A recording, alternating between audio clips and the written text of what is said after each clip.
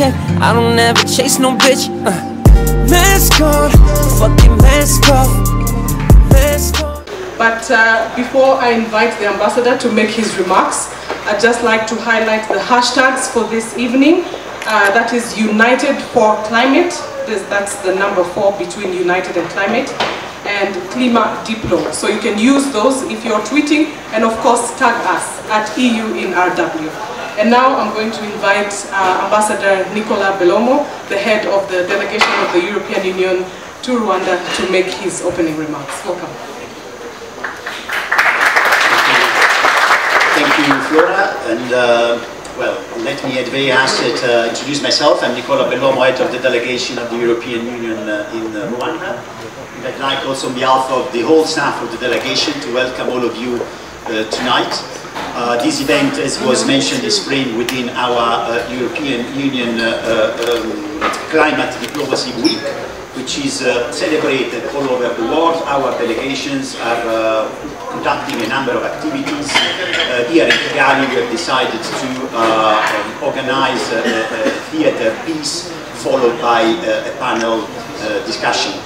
Um, I'd like to, be very happy to join uh, forces and to team up with uh, uh, Green Drinks. As you know, they host on a monthly basis uh, very interesting and stimulating discussions on uh, conservation and, uh, and environmental issues. And tonight we're also very proud to partner with the embassies of Germany and Sweden and uh, uh, we will uh, soon welcome the representatives of the embassies here tonight. Um, the European Union is a global leader when it comes to climate change. Uh, we are leading by uh, um, action and the uh, climate change is really on the top of the European Union agenda. We are very active in reducing the greenhouse gas emissions within the European Union but we equally very much engaged in uh, partnership with other countries and regions in the world to do uh, likewise. Of course, uh, fighting, fighting climate change is by definition a big challenge, but we also know that it can offer uh, very big opportunities. I mean, the uh, advantages of you know fighting climate change are almost self-explanatory. I mean, you know, and, and, probably a very long list. You know, from protecting our planet, our health, and that of the animals, um, to the introduction of new technology, and not least the creation of uh, new jobs linked to uh, uh, uh, climate change. So we are convinced that this is feasible, this is affordable, and on top of it, it's a fact that a lack of action today, which will be more expensive in terms of fighting the effect and the negative effect of climate change in the future. But tonight, the objective of the evening is, uh, of course, to, to, to gather with you tonight, but not to talk about policy frameworks, not to talk about international agreements, important as they are, of course.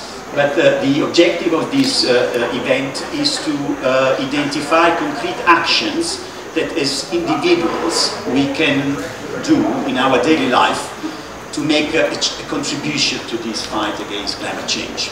So this allows also me to thank our distinguished uh, uh, panelists that uh, also joined us uh, tonight. And I'm sure they will bring, thanks to their experience, they will bring uh, an interesting uh, sort of discussion. And I hope that they will also generate a stimulating question and answer session. now I think it's time to introduce the Mashirika Theatre Company, and we really, I'd like to thank you, uh, the Mashirika Theatre Company, for joining us tonight. As we mentioned a few minutes ago, is for the good cause, and I hope that also thanks to this uh, artistic performance, we can, you know, receive and transmit this positive message. Thank you very much.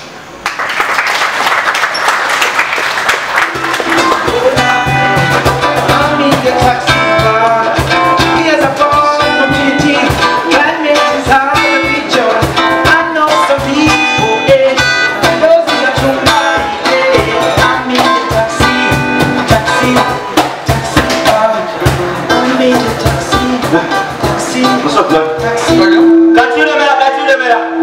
Got you the mera. Muje, toto muje.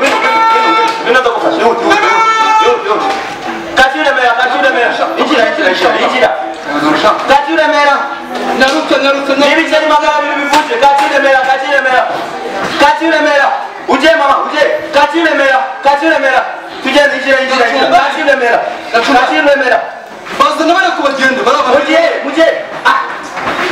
ubyiruke yinjire injira turakugezayo egera inyuma egera inyuma egera inyuma kakiremera kakiremera kakiremera kakiremera kakiremera kakiremera injira injira. Injira turihuta iyi niyo ya mbere kandi kadogora kujya twagira uwanyuma uwanyuma kakiremera kakiremera ujye toto hmm. ngwino ndumva kugeza twegerane hmm. twegerane hmm. egerane egera inyuma uri turakureba bose yuzuye twagiye twagiye yuzuye eh? yego eh. sha عادي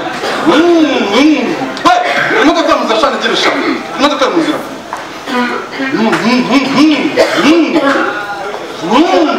كوري ماذا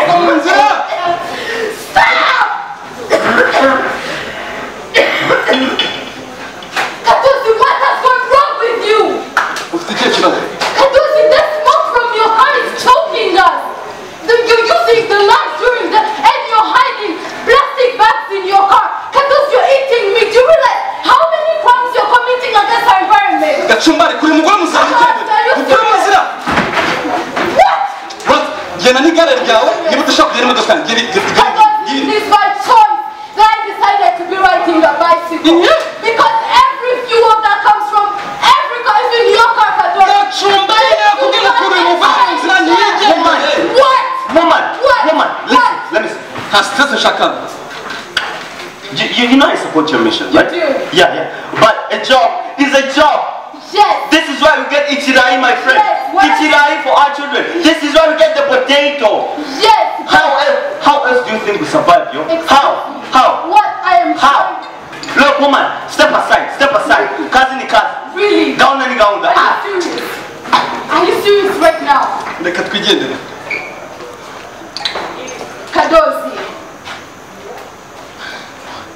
Wakwa imodoka mu nzira shana Kadosi. ariko ibiti byawe You see? You see?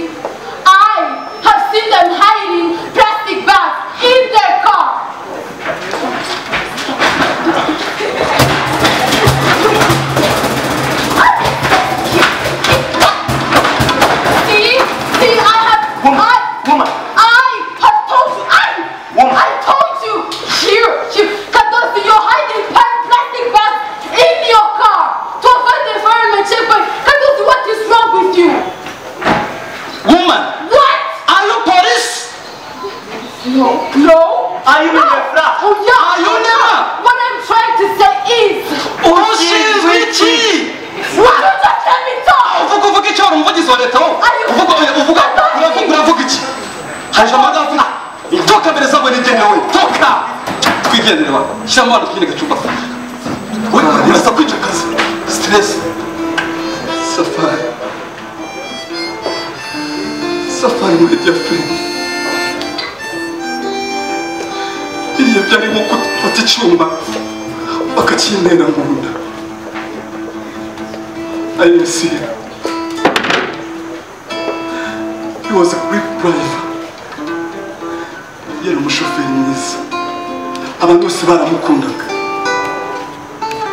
Ndatekereza ko mwese hano mumukumbuye.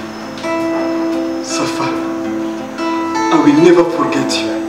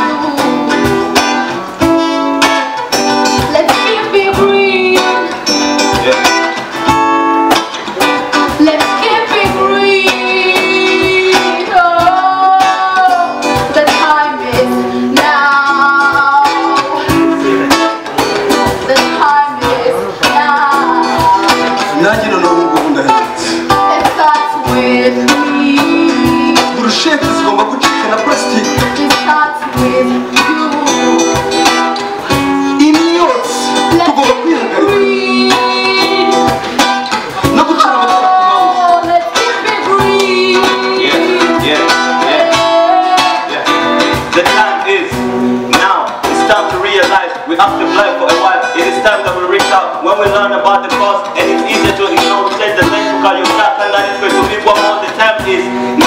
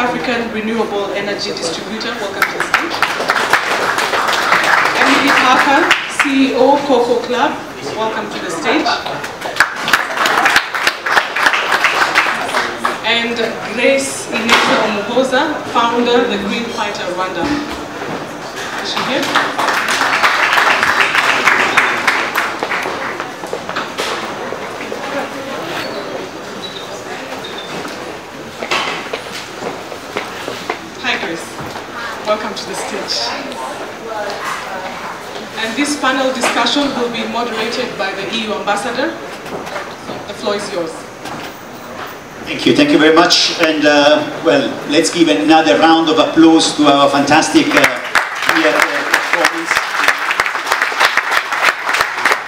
I, think it was extremely interesting also to see how art and culture can be a tool for, uh, let's say, development, uh, a tool for change. You know, that strong message that was uh, delivered in such a different and uh, dynamic way I think it was, uh, it was a fantastic example that we should use more art and culture to deliver our, our messages. So once again, allow me to thank all of you and uh, our panelists for joining us this evening. Um, you know, uh, and once again, as I mentioned in my, in my brief uh, uh, remarks uh, uh, at the very beginning, the objective of this evening is not to talk about the macro level, the policy frameworks and the, uh, the, the international agreements, but to see how can we as citizens, we can make a difference. What do we do in our daily life in order to make sure that we preserve, we protect our planet. And uh, uh, so I would immediately uh, uh, ask uh, Dancila to kick uh, start and share with us your experience and frame it within the activities of your organization. Thank you. Uh, thank you very much, Ambassador, and um, thank you uh, all of you for coming. Uh, my name is Dansila Mukakamari, and I'm the executive director of Areco Rwanziza. uh, or the Rwandese Association of Ecologists. It's an environmental and development organization working with uh, local communities in rural areas. And uh, basically we are in uh, forest zones uh, because we are supporting communities to fight against uh, deforestation uh, through environmental actions. And also uh, we fight against climate change. I'm very happy to see uh, a bamboo vehicle here today. I was also looking to the bike to see if it's a bamboo bike because actually there is an international initiative on a bamboo bike and the bamboo is really a plant which is very potential for climate change, for environmental protection, for landscape restoration. So uh, we work specifically on bamboo and uh, I'm very happy to be today with the European Your, Union. your initiative on solar energy, if you can share this with us, and also, uh, I mean, in Rwanda we have beautiful stories to tell. What, what you, would you portray and what the message you would give to us as Europeans from, from Rwanda? Uh, interesting question, but briefly, uh, so uh, I'm part of a company called ARED, and we develop a technology, a solar kiosk technology, to basically revolutionize the way distribution of digital services, including connectivity, is done for low-income people in rural area, semi-urban area. So uh, it's a technology that I, I spent nine years developing, not personally, but uh, it's been a personal journey. And um, so uh, from the time we started from charging phone, now we do Wi-Fi connectivity. We, we, we still do phone charging. We sell all digital services, the Irembo government services, airtime, mobile money. So the idea is to create, uh, create a one-stop shop, and we use solar technology. And uh, we went a step further. We, we use a micro-franchise business model. So we recruit, we train, and we monitor mostly women and people with disability to operate those kiosks. But briefly to answer your question, what the, the EU should do, I mean, I think uh, engaging local innovation is the key. Uh, there's so much innovation I come across across Africa, not just Rwanda, that lacking the support they need to scale up their business. Instead of importing or bringing uh, technology from outside, I think what the EU, any organization from, from abroad, should support local innovation. I think that's the future, and no one knows better our local problem than the local innovator. Thank you, thank you very much. You pointed to one of the elements that we also mentioned uh, uh, earlier, uh, uh, linked to job creation. You pointed also to the positive impact on communities, on the youth, people with disabilities. So these are extremely interesting uh, uh, elements to, to, to the discussion. Um, I would now give the floor to Emily. You, are, you run a place called Coco Club you, sh you should tell us and tell you tell us why you are here tonight. Um, yeah, so thank you so much for having me, and I'll be keeping uh, keep it green. Yeah, so my journey, which has landed me in this seat today, is um, the fact that I'm a mom of two kids and was constantly trying to find a place um, that would please both the adults and the kids, and it felt like you kind of always had to compromise one or the other. And so that is how Cocoa Club was born, which is hopefully a balance of um, things that parents and or people without children can enjoy as well as children.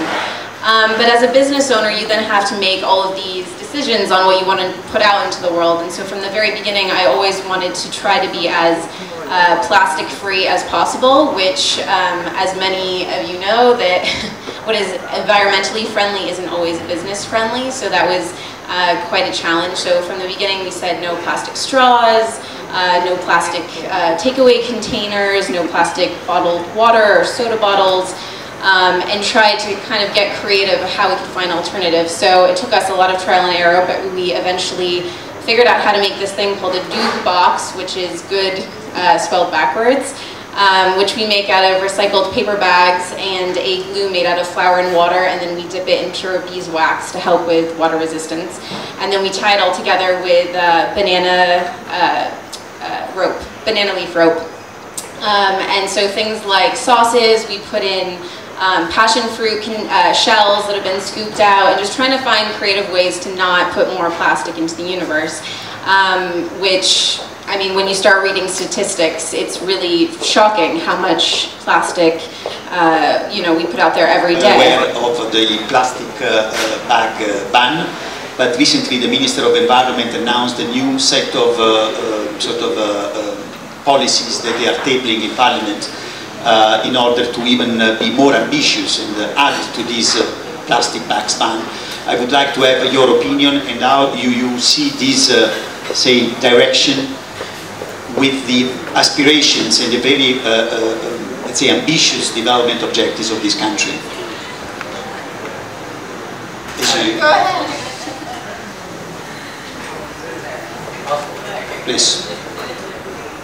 I remember when uh, the plastic bag got banned. Actually, uh, uh, I was very surprised uh, about it. I mean, it, it, it's amazing how the government has been very, you know, kind of uh, futuristic about seeing the, the impact uh, plastic would have. Uh, and I think it, it, will open new industries like bioplastic. Uh, I remember that's an industry that still needs to be developed because it's one thing to ban something, it's another thing to find a replacement to it uh, to solve that problem. I know paper bag now is popular, but it, what I like is how Rwanda has become an example to other African countries. Um, about this initiative, where when they first started, it was kind of uh, a, a, raw. It, it, was kind of at least the private sector took it personal, like oh, you know, you're going to affect our business negative in a negative way, and now it's becoming a, a trend. We're following the Rwandan trend, so that's the thing. But now we need to, and as you mentioned, we need to go further. We need to push the envelope and start, you know, incorporating bioplastic, other technology out there that can solve some of, of the other initiative. And just to add to that, I was reading that like Unilever did an international study last year that was saying that 33% of consumers are more likely to support brands that they believe um, have a social, a positive social or environmental impact. So I think as much as there are challenges, if you can find solutions, there's a big market that's there to try to support you to keep it going. Um, so that's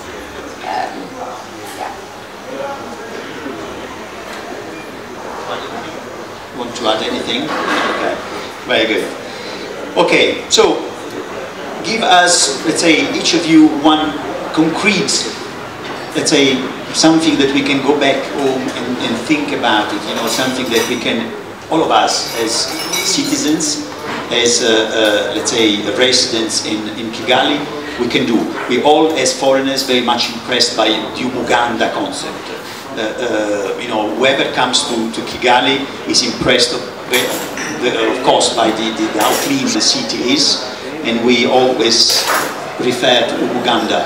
To what extent this is now something that has been probably initially imposed, I assume, to the people, but then slowly becomes something that you own and you are proud of. Uh, do you think is it just that, uh, that's also my question, one day per month, or Rwandans carry this kind of concept every day? And because I can tell you, in my own country it's not the case. So, uh, and this is also something when you say we can be proud of what Rwanda does because it's a model for African countries. Rwanda is a model not only for African countries, but also for many other countries in the world.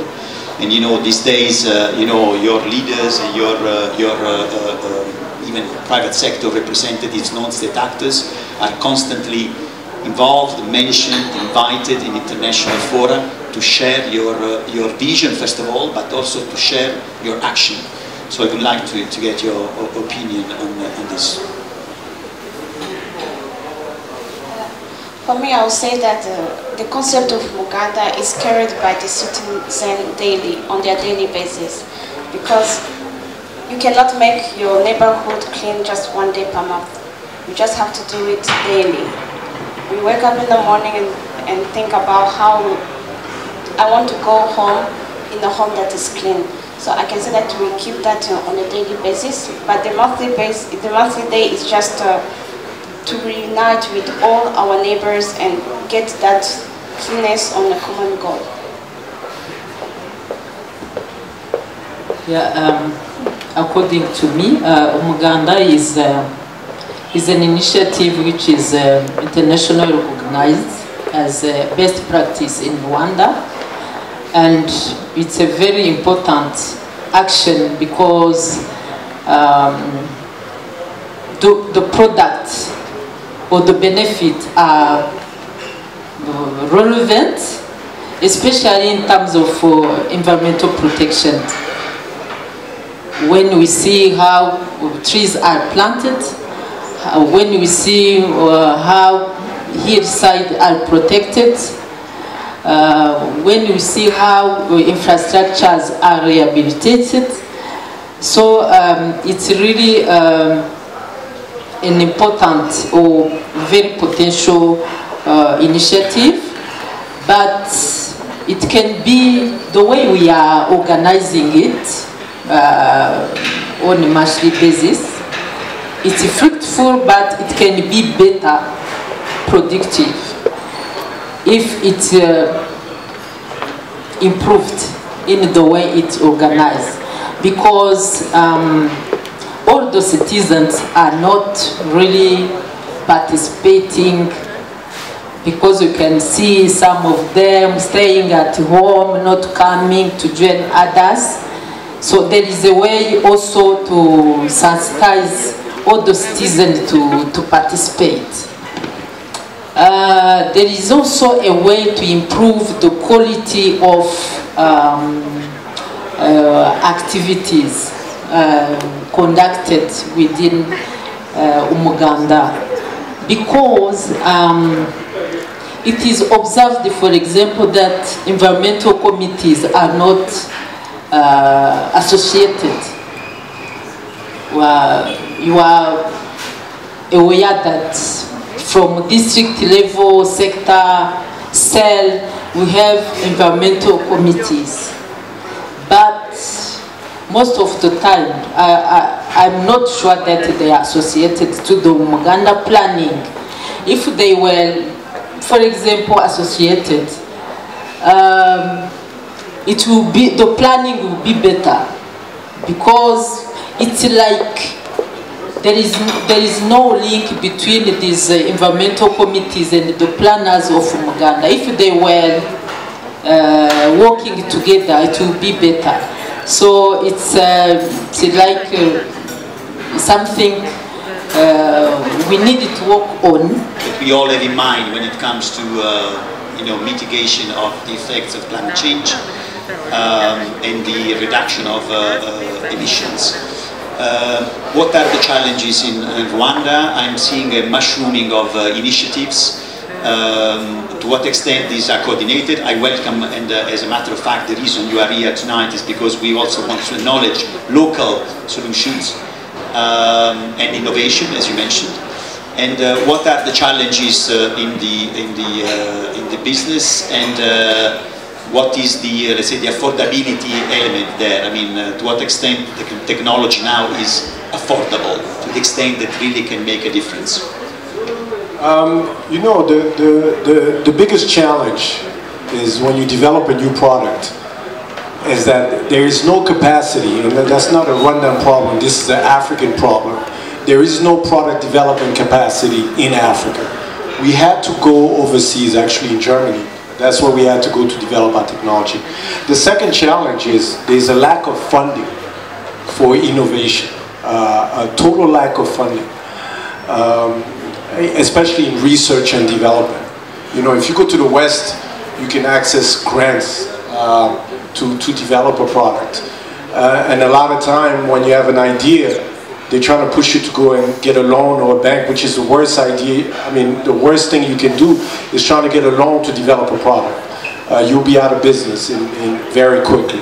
Uh, those are the challenges. I mean, there's no incentive uh, also. There's a lack of incentive, tax incentive. We, we are social impact enterprise. Uh, but there's only two ways. You're either taxed as an NGO or as a for-profit. I, truly believe there should be another bracket for social impact. You see, if you incentivize uh, private sector, then it, it flourish. And, and there's a lack of incentive in that aspect. Now, I have to be also positive. There's also uh, tax clearance for, uh, I'll give you another perfect example. There's a 124 component to our product, right? Um, there's a solar panel, battery, Wi-Fi system. I'm not going to get into detail. The panels are exempt from taxes, right? So we're still trying to negotiate to do the assembly line here in Rwanda so we can export because we operate also in uh, Uganda. We're about to be in West Africa. Now, if we bring the product finished, we tax as one product. If we bring all the components and try to assemble here in Rwanda, you taxed on all components and your product become twice as much twice as much expensive as bringing one time. So there's also uh, a lot of, uh, in that area needs to be changed. Uh, that's what I think. Thank you. It's a, it's a very relevant uh, point which is also linked to regional integration because of course these kind of initiatives can also benefit from you know uh, an improved uh, uh, regional integration when it comes not only to standards and uh, but also in terms of, uh, of, of duties and customs that you need to to pay and border management of course so I think all goes together and once again Rwanda is in the forefront in terms of pushing for not only regional but continental integration at, at the AU level and I think you can we can all benefit for this from this. Even environment, if environment is not clean, it creates the stress to human being and uh, there is instability in mental health or men, optimal mental and physical health. I would like to ask you what is your contribution in helping the government, especially in improving the biodiesel plantations because the diesel also is cause of uh, environmental pollution, but the way of treating the biodiesel so as to help the environmental sustainability also is a good project. What is your contribution in helping those projects? Because um, I, I, have, I have seen some projects which was, were failed, but uh, I'd like to know if you have a contribution to help those projects of biodiesel uh, so as to help the environmental sustainability. Thank you very much.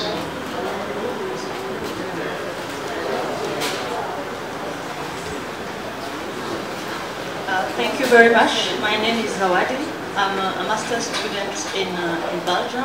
I'm doing international relations, so I'm in my, uh, my last year.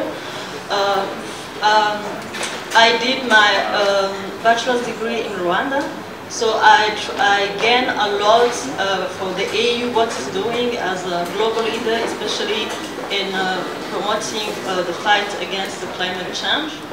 So um, I, want to, I would like to add something about the objective of these events, which has been left behind. So uh, the fact we have had about the bamboo project, is, uh, which represents uh, a good potential for Rwanda and even for the regional or regional um, protection of our environment. Uh, thank you for talking about the solar energy, which is uh, in terms of innovation, uh, which is really good. And we have also had the initiative for community, uh, the Umuganda, the role of Umuganda as community is very important for Rwanda.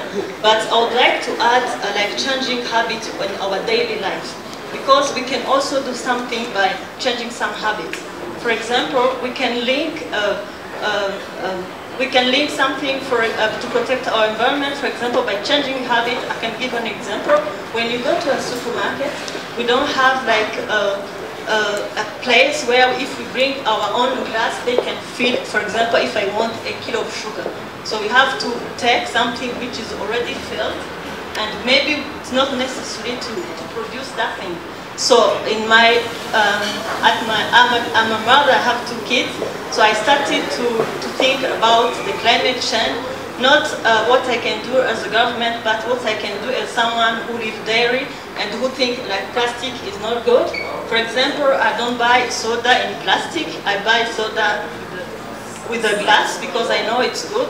So as a youth, we need to do something in our daily, daily lives to protect uh, our environment. Thank you very much. Again, uh, I can only speak for myself. You know, I, am not going to speak for others. But, but to answer, I think uh, my belief is that they need to be a three-step uh, process for things to change. Uh, not just in Rwanda or in Africa, but worldwide. First, we need to incorporate a different mindset in, into the educational system from, from primary, secondary. We need to have some type of uh, uh, component that, that talked about the environment, that teach those kids that you need to clean this environment, you know, nature. We need to live, you know, uh, in, in symbiosis with, with nature, or it's going to be a, a, big problem. The, the second thing is, I, I think government can play a big role by incentivizing individual. So for example, I've seen scheme in Japan where if you recycle, you get a free bus ticket, for example. There, there's a lot of things, it's all about, you know, coming up with, thinking outside the box and coming up with new ideas. For example, I'll tell you a perfect example. I was trying to bring an electrical car about three years ago.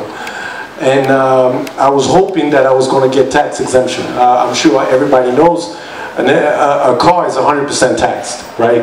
So I was hoping I'll get at least 20, 30% tax, but no, uh, they will tax the same way as they tax a regular car. I think if they incentivize, if government come with a, a policy and say, hey, listen, if you bring, if you import an electrical car, you only pay 20%. I guarantee you, in five years, you'll see a, a huge amount of electrical car. The last thing is, I think we need to come up with more funding. I'm, I'm a big believer in the private sector. I've been an entrepreneur for 16 years. I truly believe that if you pump money into ideas and innovation, you'll see a lot of change. And China is a perfect example. As much as they, they, they produce a lot of, uh, uh, I mean, the, the CO2s, China produced the most amount of solar buses in the world right now. You know, they're really shifting everything. So, but billions and billions of dollars going into this type of innovation. We don't find that in Africa.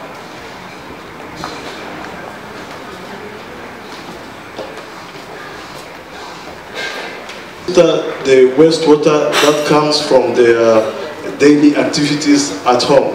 That's my first comment. Second, there is a challenge in many business premises uh, in this city. Uh, uh, for example, restaurants, hotels, uh, uh, business activities, where you see that wastes which are produced are not sorted out. So you see, biodegradable wastes are mixed with non-biodegradable wastes. And this makes difficult uh, their recycling or reuse where it is really difficult to sort out them. So I would recommend uh, the government to sensitize business premises to so the on-site sorting out of wastes, where uh, there should be different bins to different types of wastes. Thank you. About uh, expansion. I mean, uh, but but briefly, based on what I understood, the, the um, uh, we, we we operate in refugee camps. We operate in in rural area. So I'm not sure when you say we're not touching the the, the base of the pyramid because we are. Uh, and expansion is it's it's a matter of how confident are you about growing your business. So it's, it's a personal matter. If you're a business owner that want to play safe, then you can stay until you get to a certain level. I, am not sure we can talk about it a little bit later. Uh, but I like the, the, one of the question about uh, recycling. And, and I, I do want to touch about this because that's a project I'm working on. I truly believe that uh, the homes of the future will be processing and uh, creating their own energy and processing their own waste this idea of centralizing energy and centralizing water distribution will end. With this global warming and water is not just the issue. We'll be definitely processing our waste. You can use it for your own garden. Collecting rainy water, filter that to use for your daily basis. That's definitely the future. That's a project I'm working on. Uh, and last thing I want to touch about, and that's specifically for the youth we, need to stop looking at environment just as a, as a hobby or personal things you have to do on a daily basis. green business is the future. You know, you, you can build a business focusing on green business. It's the future. Today is the exception. Tomorrow it will be the norm. You know, tomorrow you will bring solution to the government, to the individual. They'll have to come to you because this global warming is getting worse and worse and worse. And you can experience this. And this is an opportunity for the youth. Instead of looking for answer outside, you know, if you look at my background, I'm not an engineer. You know, I, I was not an A student you know, and you'll be surprised how I came up with this idea. You can come up with idea. Take the initiative. You know, take the initiative. You have access to the internet. There's billions of amount of information that you can get from the internet to come up with whatever solution you want. You know, whether whether it's waste, whether it's water filtration, whether it's energy. And by the way, solar energy is not the only energy production solution in the world. You know, I don't want to make it sound like we chose solar because it, it fitted to our technology. But biogas, you have plenty other uh, uh, solutions. CSP, concentrated solar power, I can name plenty. I don't believe in one solution fits all. You know, there has to be different solutions to different problems. Well, to your question about um, separating compostable and non-compostable, that's actually a new government initiative for all um, businesses and anyone in the hospitality industry. You actually, from this month, I think, you are required to have two different bins. So one for compostable uh, materials, which is great. I don't know exactly what, what will be done with that, but that is something that's required now. And in terms of what we try to use in, for, for food waste and just re recycling things, for example, like coffee grounds, we just recently tried to switch from um, handheld, like hand soap dispensers that are made out of plastic to making our own bar of soap using coffee grounds, or we started making dog treats using the pulp from uh, carrot juice and other types of vegetables, so, you know, using that somehow. So just trying to be um, yeah, as innovative as possible where, where you can be.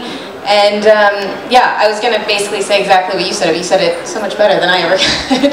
um, that yeah, I think it's a scary time right now, and it's easy to kind of think of these like big sugarcoat these little things that you know we we really need to have. Um, this at the forefront of our minds in every kind of decision that we make. And, you know, whether it be reading more articles about it or books or documentaries and really kind of jolting yourself into realizing that this is something that's, you know, smack dab in front of us and we need to find solutions and change our behaviors in order for things not to get, you know, tremendously worse. And I think it's putting yourself, you know, getting out of your comfort zone to kind of take in that information because it is scary and I think a lot of people are overwhelmed with the weight of what that means and how can I make a difference and you know it's just it's too overwhelming but I think just like putting yourself in a position where you, you believe that you can make a difference and um, that there are a lot of people out there actually who are, are ready to support you so that's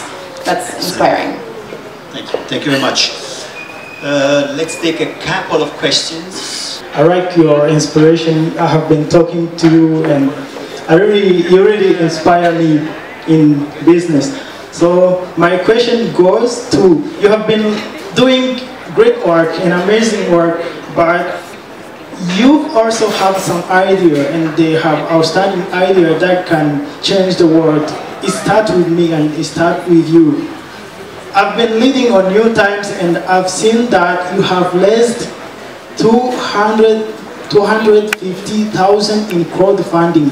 What are the strategy have you used so that you can inspire other youth who are facing with unlimited fund? Thank you. Of the country, is it because of the lack of means or is it because of the skills? The second question goes to my brother who are saying in terms, I mean, solar system in terms of innovative. It's true that see, our country doesn't have many mechanisms of accessing funds, particularly grants, but I know there is one, FONERWA, Fund for Environment and Climate Change. I think it has got three windows through which you can access fund. One is public institution, the other one is private sector, the third one I think is a civil society organization. Now what are the factors that are preventing people, I mean the organizations, to access fund? Is it because of the tedious procedures or is it because of uh, people have no information about that? Thank you very much. Answer about the FONERWA question because that's that's a very interesting. Uh, I know FONERWA very well. We actually applied four times and got denied four times. But uh, if you if you look at FONERWA statistics, only five percent of the fund goes to the private sector. Five percent. Uh, so they have a lot of work, but they did mention. But I I want to do a final word to the youth because I, I believe uh, you guys are the future, and you guys need to take more initiative. Stop thinking small. Think big. You know, uh, there's there's so much work to be done. There is no one solution to solve this problem. Whatever solution you have, small, medium, or big, it's if, even if it's a solution for your community, it's still a solution. You know, take initiative. Stop being reactive. Be proactive. You know, you have the power to pretty much accomplish anything you want to do. Believe me when I tell you that. You live in the best time where information is available. You have no excuse for not taking initiative. You know, is it hard? Extremely hard. I can't tell you. It's going to be the, you know, trying to build a solution and make it sustainable because that's the key. It's the hardest thing you're probably going to be doing. But at the same time, it's the most fulfilling thing you're going to do for yourself, for your family, and for your community. Uh, so for me, I will not far from what he said because we the youth are the stakeholder of the future that we all want to fight for. But as he said, it's hard. You may have a solution and want to act on it, but you find so many challenges and you have to learn how to cope with the challenges at the same time being implementing. So what the message I can give to to innovators or civil society organization is try to link whatever solution you have, whatever innovation you have, try to link it with the youth in your community or in the neighborhood because maybe you're the one having the resource to implement a solution. But always remember that there's youth who are ready to engage in order to make the solution sustainable. And because, as he said, we are strong, maybe, super strong. Uh, so when we come up together, we can do really big things. And we don't cost much as civil society organization can cost.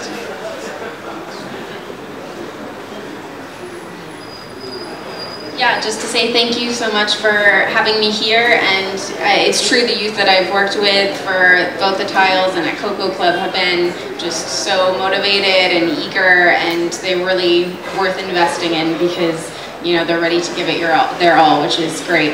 Um, and just a reminder to, I guess, you know, this as cliche it is, to vote with your wallet to make you know purchases, invest in things that you believe in.